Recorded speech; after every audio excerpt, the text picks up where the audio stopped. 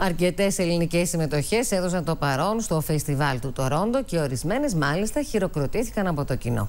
Ο Αλέξανδρος Λιζάρδος συνάντησε τους Έλληνες που συμμετείχαν στη διοργάνωση και μας μεταφέρει το κλίμα.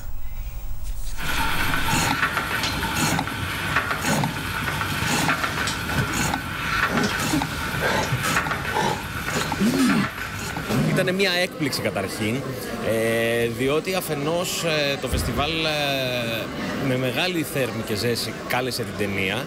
Αφετέρου είναι μια ταινία είδους, είναι μια ταινία φαντασίας που είναι εμπνευσμένη από βαλκανικούς και ελληνικούς μύθους και παραλογές το οποίο κατά τη διάρκεια των γυρισμάτων και της προεργασίας και του post-production ήταν πάντα ένα ερώτημα ότι ποιος είναι ανοιχτός για να δει μια τέτοια είδους ταινία. Και το, την πήραν σε ένα φεστιβάλ το οποίο είναι τόσο audience oriented, το αγαπάει ο κόσμος και μπαίνει μέσα στις ταινίες, ήταν μια πραγματική έκπληξη.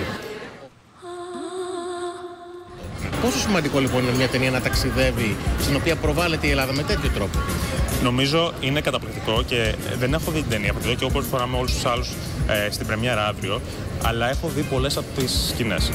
Εγώ ζω στην Αγγλία εδώ και 20 χρόνια, αν και έχω γεννηθεί και μεγαλώσει στην Αθήνα. Ε, και σε αυτή την ταινία την γυρίσαμε πέρυσι στη Μύκονο. Είναι ε, βρετανική παραγωγή, του Michael Winterbottom, αλλά το 90% της ταινίας γυρίστηκε στη Μύκονο και είχαμε γυρίσματα εκεί Σεπτέμβρη-Οκτώβρη του 2018. Oh, Christ on a bike, Neil. What am I going to say about this?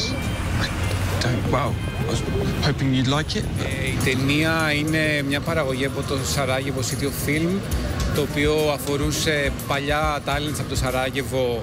Μας καλέσαν λοιπόν στο Σαράγεβο για να γυρίσουμε μια ταινία που έχει να κάνει με την πόλη του Σαράγεβο. Και η Μαρίνα Σημαίου είχε την, την ιδέα αυτή για το Route 3, που ήταν ε, για την κοντινότητα ανθρώπων μέσα σε ένα, σε ένα πάντων, μέσο ε, μεταφοράς.